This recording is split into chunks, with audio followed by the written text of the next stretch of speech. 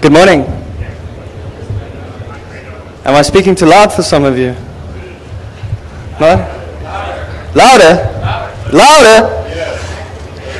Hi everybody. Thanks for coming to our talk. We uh, appreciate it. We're going to have to think of something to say for the next 50 minutes to keep you all busy. Um, we may get unstuck after 10 or 20. If we do, we're going to, I don't know, we'll find something. Uh, my name is Saul. Actually, I'm not Roelof Teming or Harun Mir. Uh, Harun wasn't able to give this talk this morning for some obscure reason. And Harun and Roelof is, ah, there he comes. Roelof is supposed to be here. So uh, we're going to be presenting a paper which we've titled Cetiri Advances in Trojan Technology.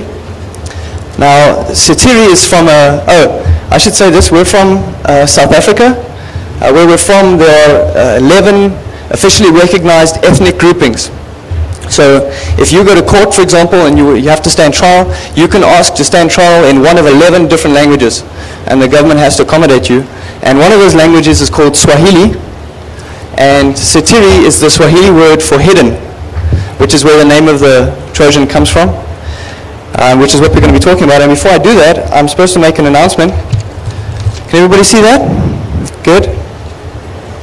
What I'm supposed to say is um, that this conference is being recorded on video and audio CD-ROM, and that you can get copies of the recordings downstairs at the aptly named recording sales desk. So if you want to buy a video of any of the talks that were given in this conference, or if you want to buy a CD-ROM, then you can uh, get it downstairs in the Parthenon foyer. Parthenon foyer. Um, yeah, and there's some more. Speaker, please announce the following at the start and end of your talk. The next session in this room is session name from below. Uh, um, uh, the speaker is down there at the back, so. Oh, I know what it is. I know what it is. It's on. Where's Mike? Where's Mike? let's Speaking go. next. No, not Mike Myers. All right. So uh, this is what we want to talk about. Uh, we're going to be speaking about Trojans. I think what I should say uh, right up front is the, the, our, our paper and uh, the talk that we're going to be giving is focuses on uh, what we call establishing a communications channel in a hostile environment. So it's not so much about the functionality of a Trojan. It's also not about uh, the delivery mechanism. It's not about how we put a Trojan on somebody else's machine. It's about how, having put a Trojan on somebody's machine, and assuming that the Trojan has the functionality that you want to pop the guy's CD-ROM drive or look at him through his own webcam or anything like that, assuming that you've got all that, how do we actually communicate with that Trojan in an environment that's designed to keep us out, like uh, most environments these days are. Uh, this work is based really on a, on a lot of research that, that Roelof here did, assisted by his, his beautiful assistant Harun, who's hiding in the corner. And, and I'm just talking because I'm the best looking. Um, so yeah, those are the things that we want to cover. We're going to talk a little bit about why you have Trojans, although I think that's pretty obvious. Give you a brief history of Trojans and, and the concept of covert channels. And we're going to introduce a, a model that we've adapted for, for this communications path, which we, which we call a hybrid model. I don't know what anyone else would call it, but we called it a hybrid model. Uh, then we're going to introduce Cetiri, and unfortunately what we're not going to be able to do today is to give you a demonstration because we have no network connectivity, which is which is really sad. Yeah, it's the wireless is down. We can't or we can't reach it from here. So Maybe- unfortunately, Maybe we'll get it up before we have to get the demo. They're working on it. The good people of uh, DEFCON are working on it at the moment, so maybe if we can get the wireless up in time, we'll show you how it works. these guys only came for the demonstration. Now they're leaving. That's not nice. Um, I think what we can do is we, we do have some screenshots, luckily, which we took so we can sort of walk you through the screenshots and show you how it would work. This is an existing technology. We've built it. It works. Uh, we use it. So it's, it's out there. Uh, but we're not going to be giving it to you. And then uh, when we've done showing off, then we'll maybe, if we have some more time, we'll talk about how we would take this technology further if somebody threw like tons of money at us uh, to do it. A little bit about us. Um, Roelof and myself. Hi, I'm Shaul. This is Rudolf, and we're alcoholics. No, this is a different convention, eh? not, that's not this convention. I'm sorry. Uh, we're from SensePost. SensePost, like I said, is a, uh, it's a South African company. So we traveled just about 26 hours to get here, although we plan to go home a lot faster.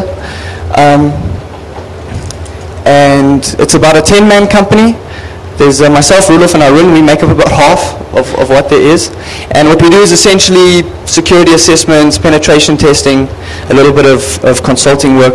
Uh, we're not an R&D shop per se, and we're also not a development shop per se. Object of this presentation. Why do you put that in the slide for? Dumb thing. Right, so uh, why do you have Trojans?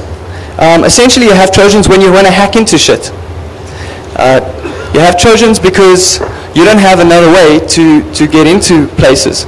Uh, the, the development and thinking about Trojan technology was a bit of a, a new thing for us because essentially what we do is, or what we do best, I guess, is, is internet security assessments, looking at people's security infrastructure from the, from the outside.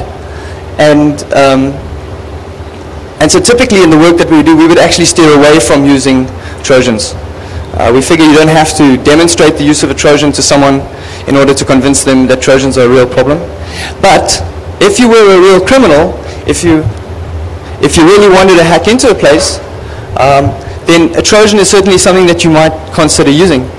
And uh, we, we talk in, the, in our business about the path of least resistance, or the 80-20 rule, which essentially says that for the least amount of effort, uh, I want to get the most or the highest possible level of return. And that's something that a, that a Trojan can get you. So without having to write custom buffer overflows or um, reverse engineer some proprietary protocol or figure out how something, uh, figure out how something works at layer two, all, all I need to do is get someone to run an executable on their machine and if I then have a way to talk with that agent which is running on the which is running on the computer, I essentially own the machine and from there taking the next rest of the network becomes trivial.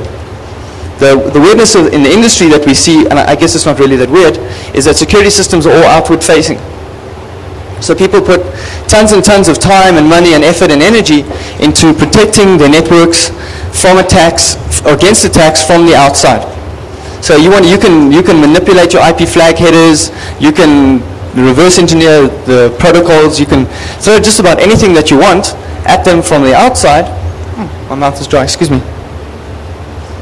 I wonder why.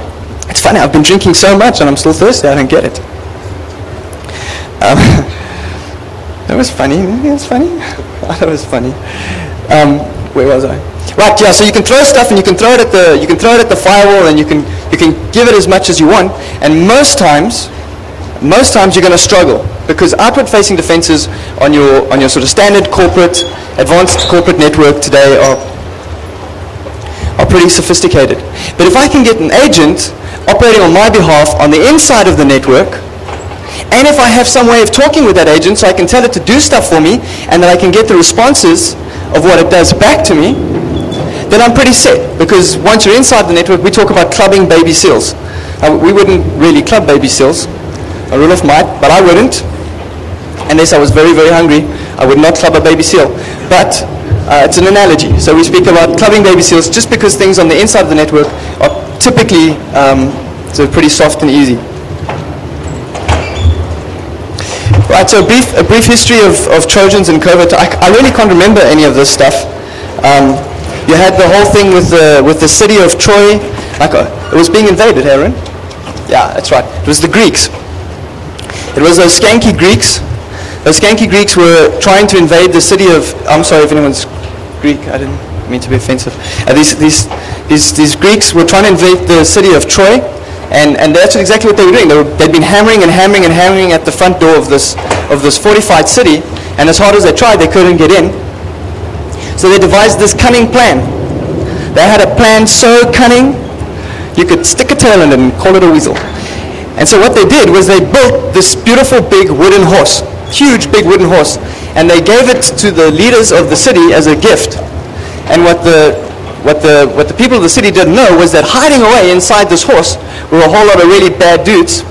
And as soon as the horse had been pulled into the city and the doors had been closed for the night, uh, the guys all jumped out and they massacred everyone, and uh, everyone lived happily ever after. And, and Troy, And Trojans have been around just about as long as computers have been around. So the concept of Trojaning a machine uh, from a security point of view is not new. It's something we've all been uh, talking about for forever, basically. And, and that's what we said at the beginning of this talk is uh, what, what, what we've been looking at is, is not really de developing the concept of Trojans or even developing the methodology or the, the, the, methods and techniques of Trojans, but, but concentrating on how I speak with that Trojan once it's on the inside. So let's, uh, let's maybe take a quick walk through, through the development of Trojans in different kinds of environments. And as, as security systems became more and more advanced, we, saw, we see Trojans having to adapt themselves um, to be effective in those increasingly hostile environments. So in the, in the simplest case, you have a PC, a user's uh, machine that's connected to the internet. Maybe he's dialed up, or maybe it's in the, in the early days when the internet was still a beautiful place, and you could just, you could just hook your machine up there and you'd get an IP address and, and you, could, you could talk out on the net. In an environment like that, if I can get my Trojan to execute on someone's machine, communicating with that Trojan is trivial. Now I can establish a TCP connection to it. I can have it establish a TCP connection back to me. I can send it ICMP packets. I can send it UDP packets. I can do just about anything I want. Um, and, it, and there's nothing's going to stop me. So that's hardly worth talking about. Then, then we saw the introduction of the firewall. Firewall essentially designed to screen internal hosts from malicious traffic originating from the internet. Uh, if this place is going to blow away, will somebody just tell me? Because I'd hate to be the last guy standing here talking to nobody while you all rush out to save your lives. Um, so with the introduction of the firewall, it's no longer trivial for us to send packets to the Trojan. It's no longer trivial for us to establish a TCP connection to the Trojan. And so the, uh, the Trojan basically has to come a whole lot become a whole lot smarter. So what are the kinds of things that Trojans would do in this kind of a slightly more hostile environment? Well, the first thing we can do is we can get the Trojan to do a dial home, which is pretty smart.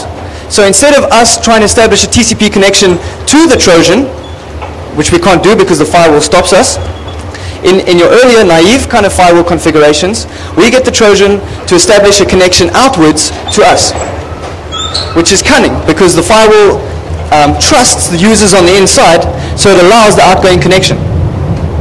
Other things we can do is we can play around with the, the source and destination ports in the hope of um, taking advantage of some lame configuration on the firewall. Uh, for example, firewall, uh, checkpoints firewall 1 up until recently by default allowed TCP port 53 in.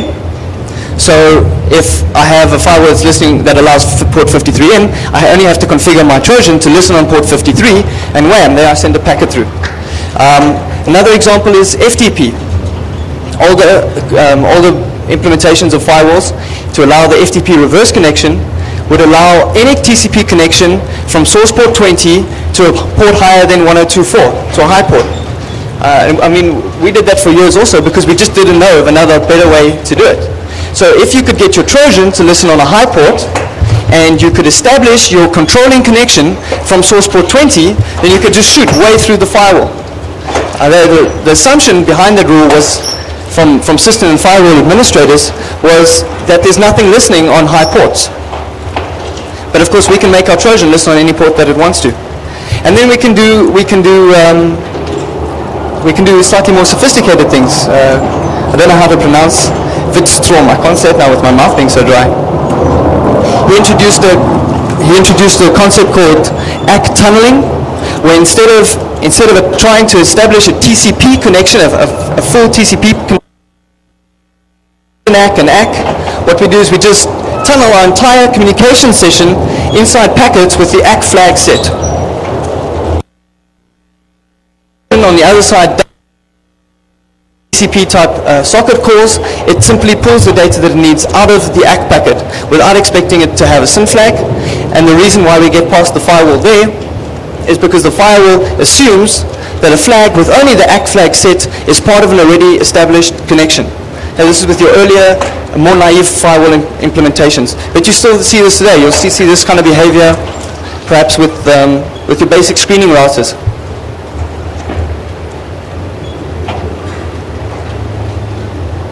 So basically, even after we have a firewall installed, especially on our earlier, more naive firewall implementations, we still have ways of talking to our, to our Trojan by essentially exploiting naive assumptions that system and firewall administrators make. And if that fails, we can maybe get our Trojan to talk out to us.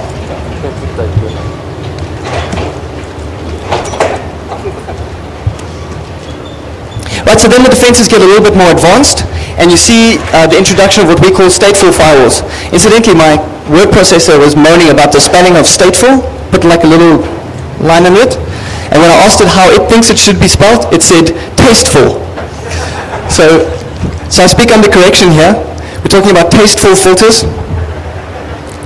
And um, what tasteful filters do is they start to take into account the context of a TCP connection. So they're no longer relying solely on the set of, of IP and TCP flags that are in the packet.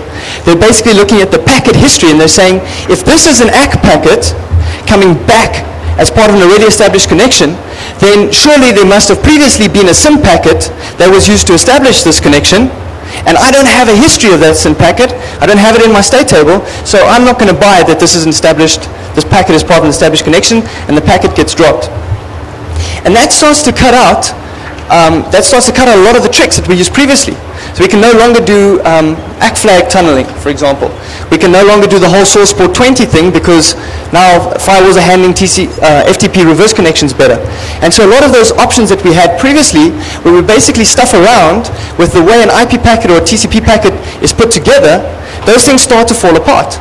And, and one has to give credit to the firewall vendors for, for getting this right. So what would, a, what would a, a Trojan do in this case? Well, still there's things we can do. For example, we saw Trojans, we saw um, what we called, uh, that were essentially plugins for, for Trojans like back office that would allow us to establish control connections by posting to IRC channels. So if the firewall administrator is allowing IRC out through his, through his firewall, then we can basically log on to IRC as the Trojan and send and receive information, communicate with the controller via IRC. Um, and I'm going to give you some examples of that sort of thing in the next, flag, uh, next slide, which is where we start to talk about tunnels.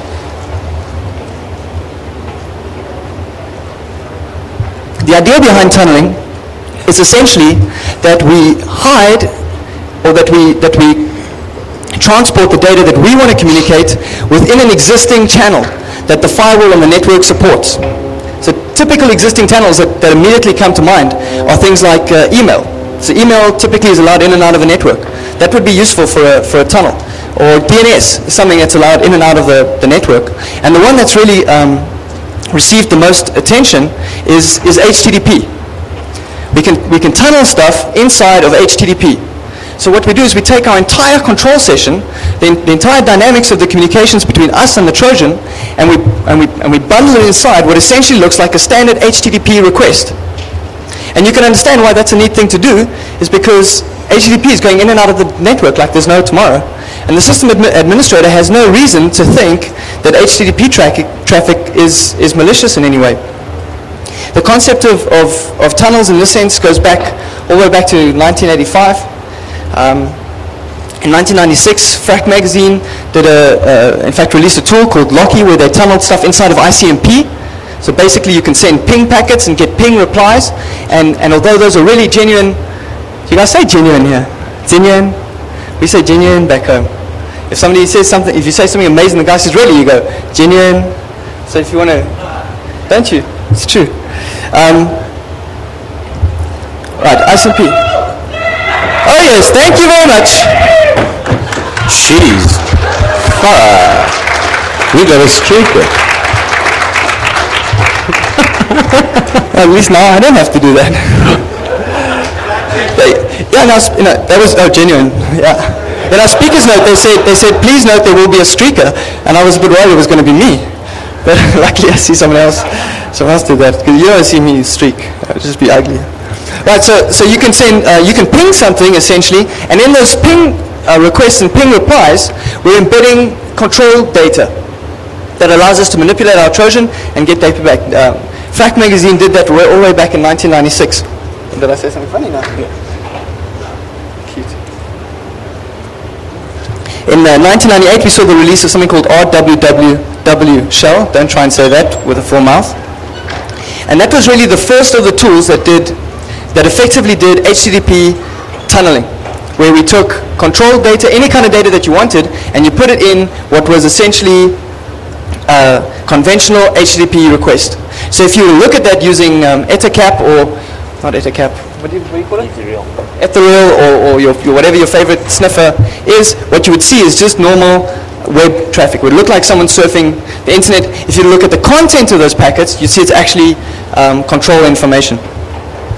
The concept developed further with HTTP tunnel, and today you get commercial offerings, things like Firethrough, where I can load a little Java client on my PC, and I make use of a, of a tunnel, tunnel termination server that this company offers commercially, and I can pretty much put anything that I want through this encapsulation client, put it into HTTP. I can even send it via my proxy. I can even send it via by configuring a proxy, and I send it out, and when it gets to the uh, tunnel termination server on the other side, they strip off the HTTP and they send out what the original uh, traffic was. We do that. We do that all the time. Um, for example, to read your email using SSH, when SSH is not allowed at the network, I fire up this client, I configure it to tunnel SSH over HTTP, and then I SSH to my machine, to localhost on port 22, that gets wrapped up inside of HTTP, off it goes, and on the other side gets taken out. So this is also not a new concept. The reason why, why Trojans, having all this technology at their disposal, the reasons why Trojans still fail um, is partly due to, to, to stateful firewalls and IDS, we saw already how the, the whole direct model starts to fall apart with, with advances in, in firewalling technology. We see um, guys increasingly blocking stuff off, so you're just not seeing IRC go out of networks anymore. You're just not seeing administrators allowing SSH out anymore. You, you're seeing guys using, and this is a clever trick, you're seeing guys using authentication proxies. And what does that mean? It means that in order for me to surf out of the network, I have to go via a proxy on the internal net, right? But before I can use a proxy, that proxy uses basic authentication and it prompts me for a username and a password. And that pretty much, um, that pretty much flummoxes the Trojan. Because the Trojan doesn't know what your username and password is. So if you have authentication proxies, that's going to start, um, that's going to start canceling out these kinds of tunneling approaches. And then we see other things like um, personal firewalls. Personal firewall will see that the Trojan is attempting to establish a connection and it'll notify the user and say, there's a new process, there's a new application on your machine that's attempting to open a socket and make a socket call. Is that allowed? And the user can then, can then block that outgoing traffic. Oh what is that? All right. So if you look at a typical network, these are the kinds of things that you, these are the kinds of things that you see. You're going to see at the gateway to your network, you're typically going to see some kind of NAT-based firewall, right? Something that understands the concept of a TCP session. Uh, inside, you're going to have IDSs and virus scanners. You're going to have maybe a content checking firewall that's actually going to look uh, not just at what kind of traffic it is, but, but the content of those packets and see what is it that's going up and down here. Is this really a legitimate HTTP request that's being made on port 80? Uh, on, on, the, on the PC itself, on the end user's workstation, we're seeing increasingly the, the use of personal firewalls. And personal firewalls are maybe not so useful to protect the machine from connections from the outside in, but they can be incredibly useful in preventing something like um, HTTP tunnels because you're just not able to make a connection out.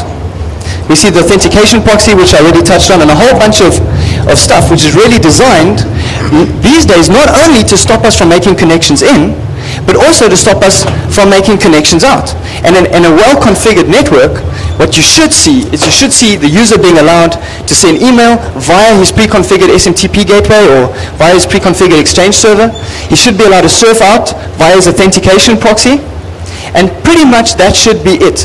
He makes his DNS requests via an internal DNS server, and there should really be no reason for the user to make a connection out onto the internet at all clearly in, in a network like this, you can see how something like um, back orifice or sub7 or netbus is not going to work.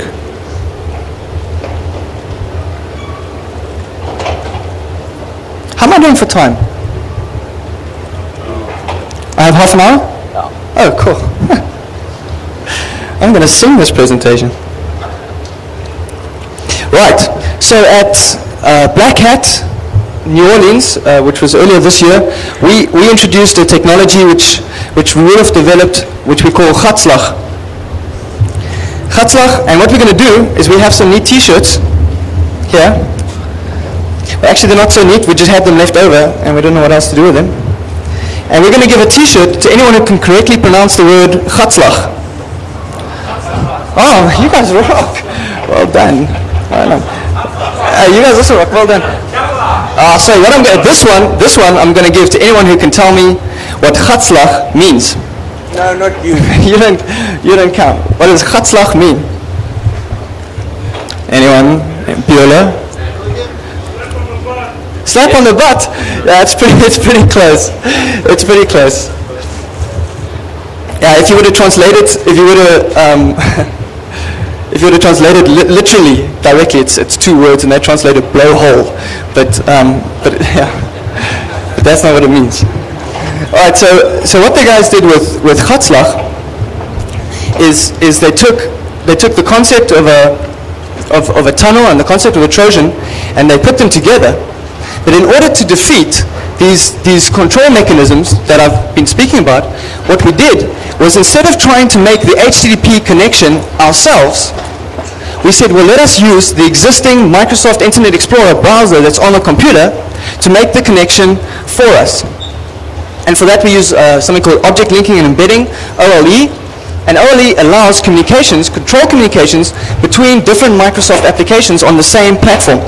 Um, this So- is this is really the core of of what you need to know here is that is we don't make the connection ourselves. We we actually use OLE to communicate with a uh, browser and let the browser make the connection. Um, and that's got a lot of advantages that I'm sure Shaw will point out to you. I'm sure he will. So, so, so what we're doing now is instead of trying to establish a TCP connection on port 80 and do HTTP, we're just using OLE to call the browser, and we're having the browser do the HTTP for us. Um, so essentially how that works is that we fire up a browser on your PC using OLE, and that's not, that's not, I know this term gets used a lot, but that's not rocket science. Right? You use OLE, you fire up the browser, and we surf out to a web page on the internet which we define. And in the title of that web page, we embed the commands that we want the Trojan to execute. So you have, in this model you have, I'll get to now, you have three, you have three components. You have the engine, the execution engine, which is actually going to do the commands for you. And in our particular Trojan, uh, that execution engine is, is relatively simplistic. But you could have something really sophisticated like, like back office doing the same thing. That's the first component. The second component is the browser, which we control using OOE. And the third component is the web server sitting somewhere on the internet, which is going to control, which is going to contain the commands um, that we want the Trojan to execute. And it sends those commands down to the Trojan in the, in the title of the web page. And with the Gatslag model, we actually didn't use a web server. Uh, we developed a, a pseudo web server in, in Perl, which emulated the, the behavior of a web server with, with obviously much more uh, limited functionality. And what you would get is you would get a, a little prompt on the server, and, and you could type in the commands that you wanted, and it would create the web page, um, the pseudo web page, and, and put the command that you wanted executed in the, in the title. Uh, if we wanted to get data down to the Trojan, or why would we want to get data down? For example, if I want to put a keylogger, instead of me having to build the keylogger functionality into the Trojan itself, I download, I take something like Keylogger, and I simply send it to the Trojan, and I have the Trojan executed on my behalf. So I want a way of sending data down to the Trojan. To do that, we build a web page, and we encode the binary in, in, a, in a form of encoding that, that Roelof developed, and we send it down like it was a web page. It So really you were to- sucked. the- yeah, the form of encoding wasn't particularly sophisticated, but it, but it worked. So you could then, you could then theoretically actually surf that page, and if you did, you would see the encoded binary on the page.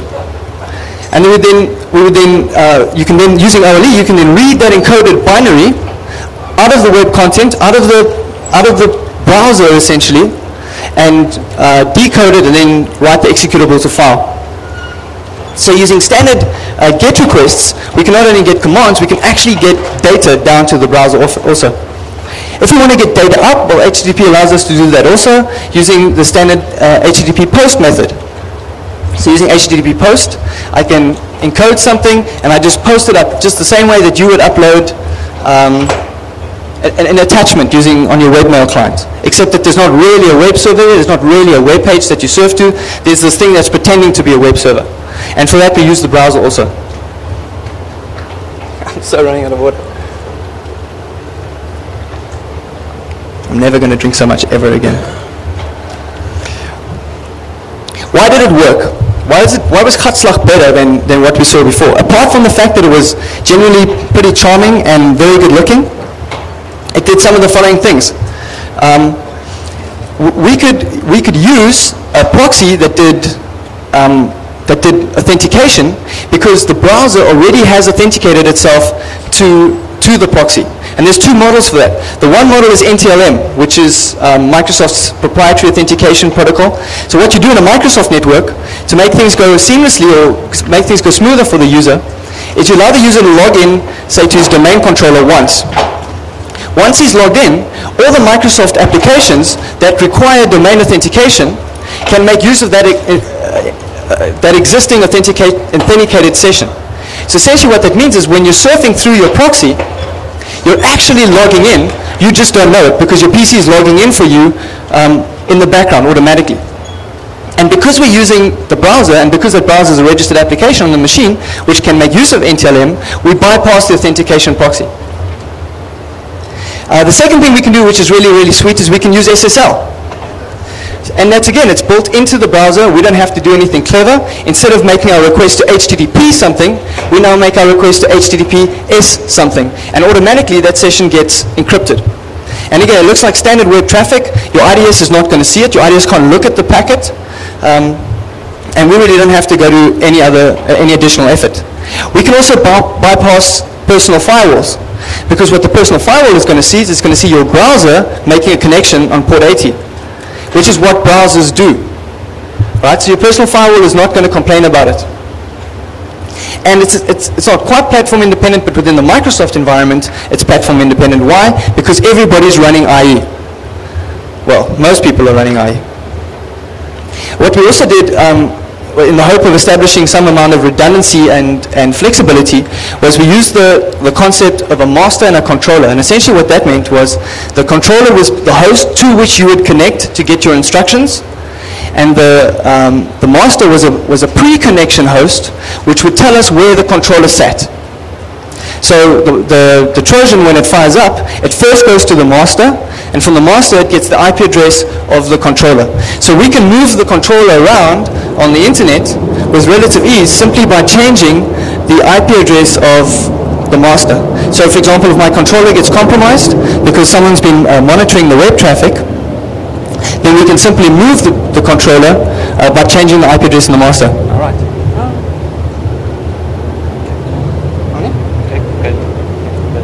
So uh, they say a picture speaks a thousand words.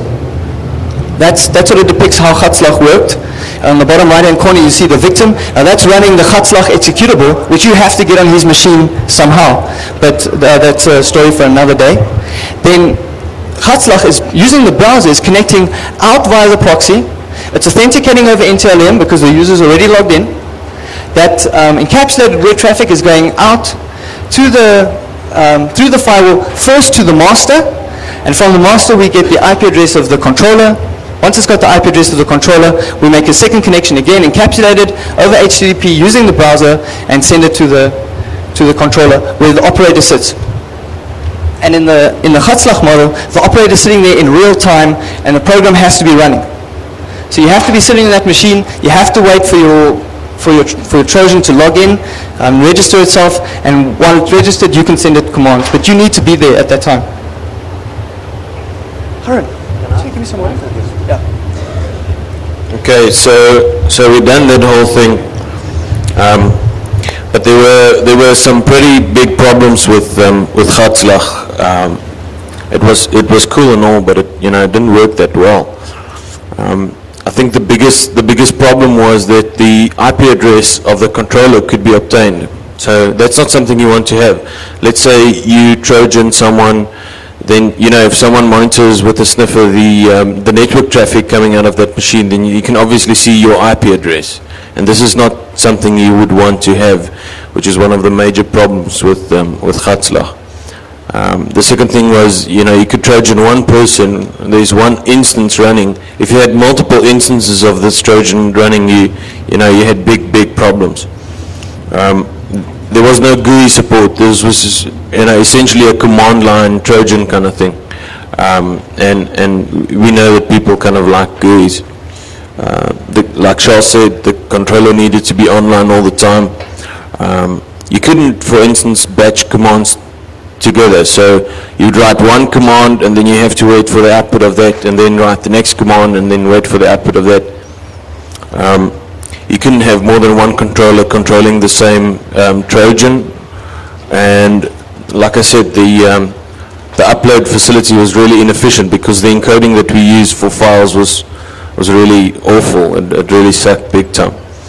Um, we, we now have something that is, that is more platform independent. It can run on, on anything 95, 98, NT, ME, um, XP, so it runs on a lot of platforms. It's much more stable, um, and, it, and works generally, it just works better. The, the one thing that we also wanted to do was session level tunneling. This would mean that you have a, um, a Trojan over here, a controller over there, and a, a session to a secondary machine can be made um, through the Trojan uh, by uh, slide. Okay, um, Charles, you want to take it from here? Or? Yeah. Just, just to comment again on what, what Rudolf said, that the session level tunneling is a, is a powerful concept. What, what, we would like to, what we would like to have done with Gatslag is to give, us, give ourselves the opportunity to establish a fully functional TCP connection via the, via the Trojan to another host, to an additional host. And um, that's one of the things that we, that we didn't get right with, with Gatslag. We also didn't get it right with Satiri, so don't hold your breath.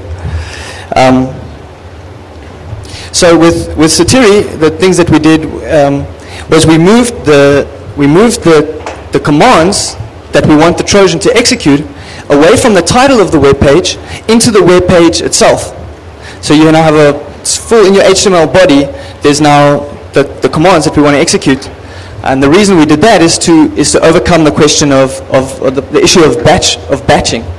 So now because we have a, a, much bigger body that we can put our commands into, we can send more than one command to the Trojan at, at the same time. And, and later when we show you the screenshots, we'll show you how that looks and how we use that to, to track state between the commands that were sent and the commands that were executed.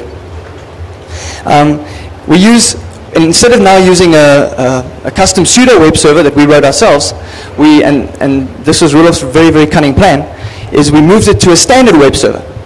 So we now use standard Apache-based web server, and we just wrote a whole lot of CGIs on the web server to do the stuff that we want to do. And that's where uh, Rudolf's point about platform independence comes in. Because now instead of you having to sit at the machine and enter the control connections over the, over the console, in the same way that the Trojan browses to the server to get the commands that you want executed, you can browse to the server in order to control the Trojan, which separates you from the, from, from the machine where the, where the controller software is running. Um, the things that the, the Trojan can do is, is essentially what we call an exec, which is a DOS command.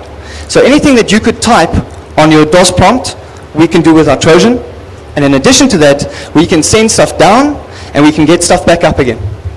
Um, I think the, the idea there was um, we didn't want to build, you know, Trojans. The idea was really more to to explain the concept and to see that you know, bidirectional communications is possible. So, so we essentially given a, a, very reduced kind of instruction set, and that would be upload, download, and DOS execute.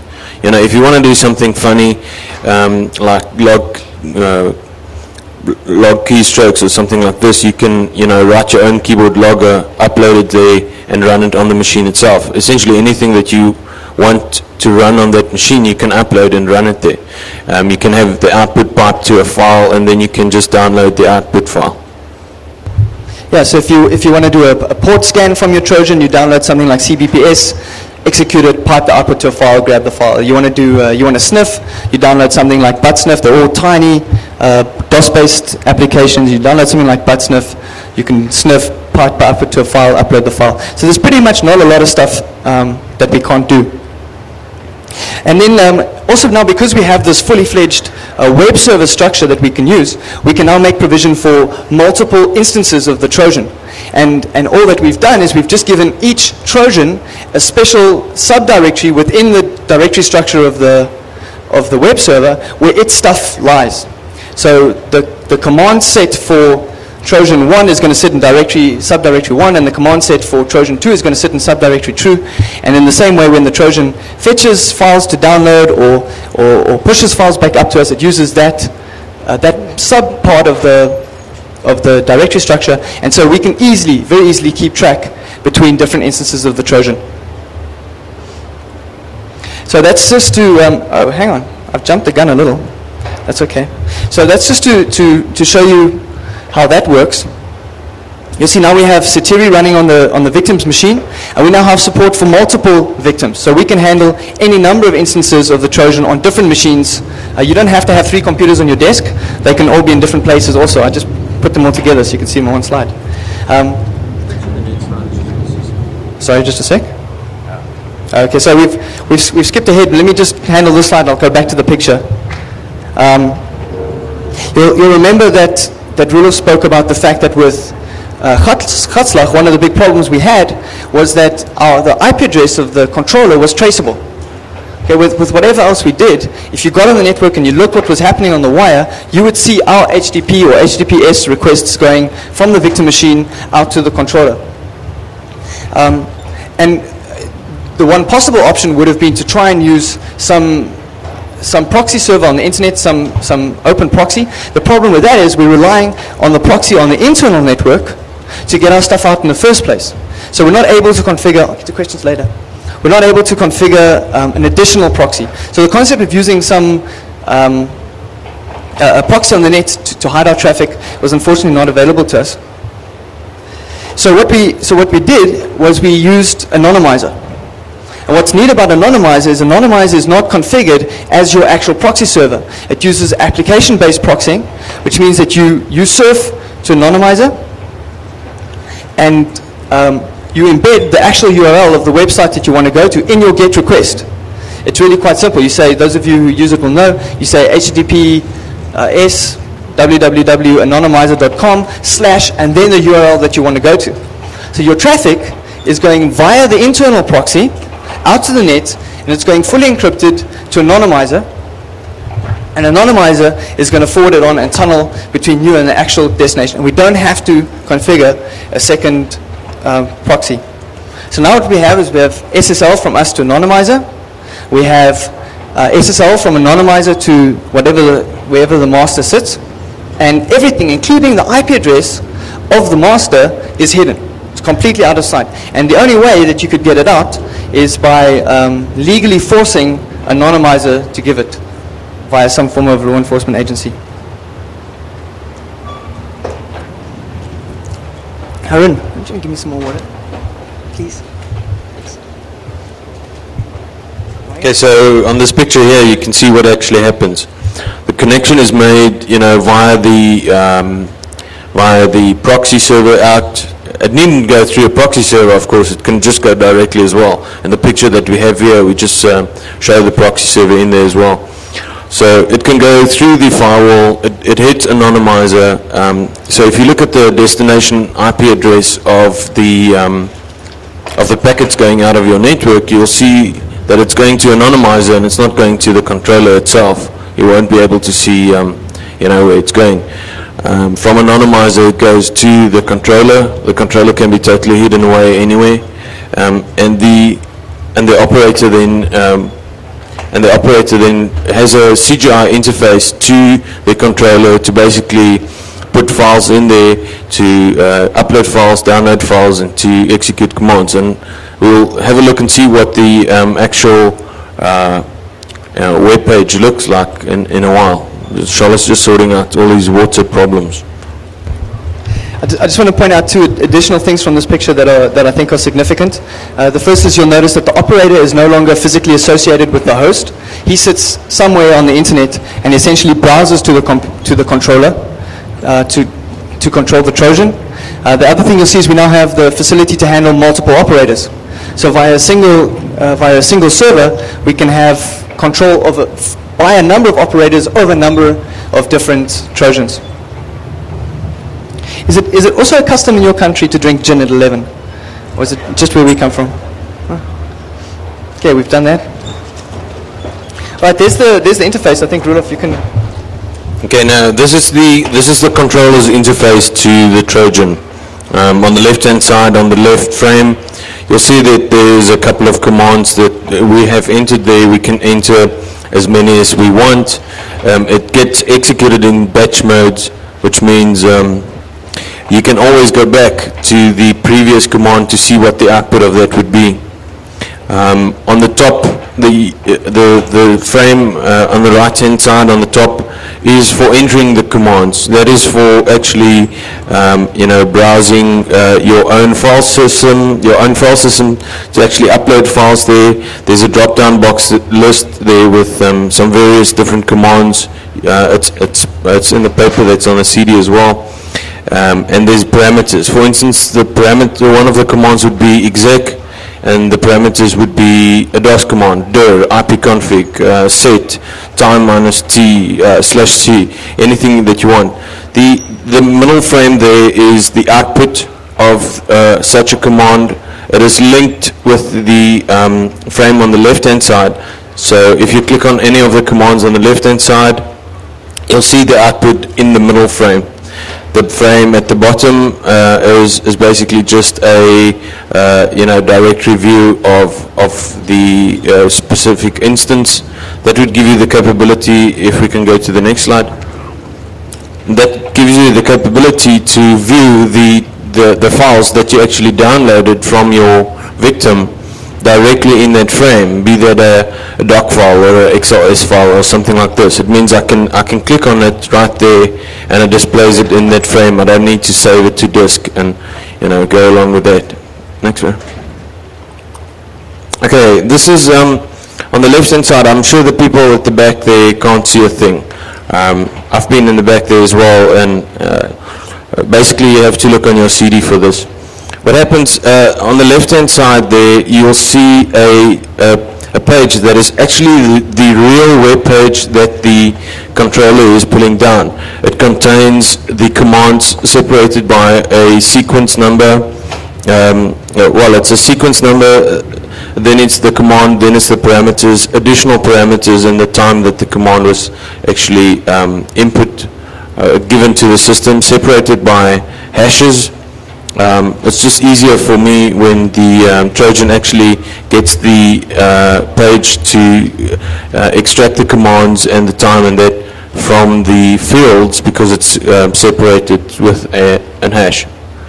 Um, I'm, I'm just a lazy programmer. Um, at the other side, you'll see there's a um, there's a, a capture there from Ethereal, and on that slide you can see that there's uh, you know the the machine is actually only going out to anonymizer. You can't see the IP number of the of the real controller.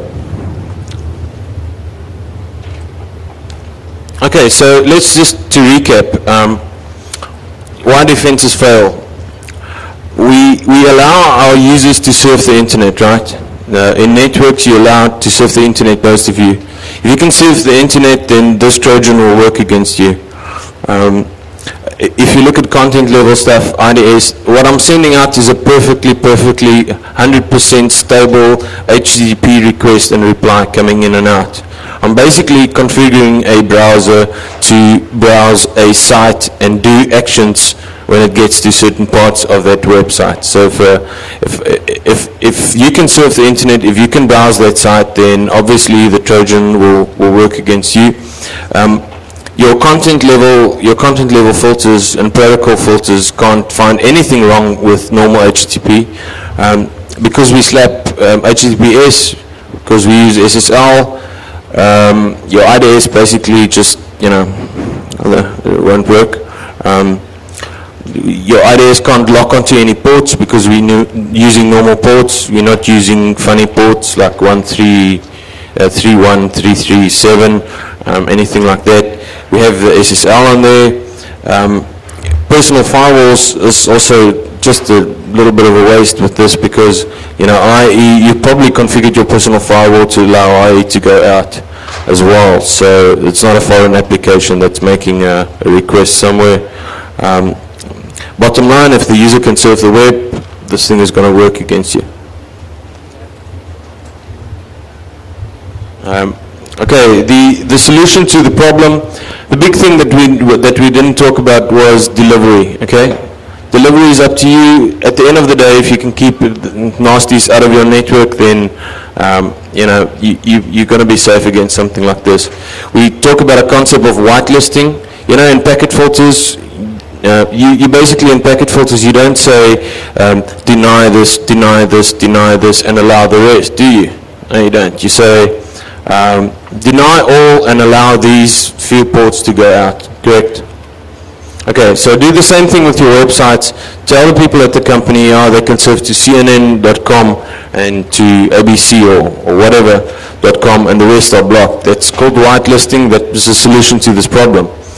Um, user education, the old kind of thing, educate your users, you know, if, if they get an attachment. That's basically the whole raw kind of, you know, I think uh, one of the, I'm, I'm, we're finishing off here because we're running a little bit late. Um, I think one of the things that we, that we really wanted to show here was that, you know, we don't have a big budget, we don't have budget for this, okay? We don't have motivation for this other than speaking at Black Hat and speaking at DEF CON. Um, that's our motivation for creating something like this. So I think if you have a team of programmers that's more motivated with a bigger budget and you know more time, they could probably build something that is crazy. I mean, it's probably going to work on the same concept, but um, um, it might work a lot better. It might be embedded in some of the tools and systems that you know, Word, Excel, you know, that kind of thing. Um, so our motivation really today was just to make you aware that it's possible to write something like this. It's out there, um, it's alive, and it's kicking. Thank you very much.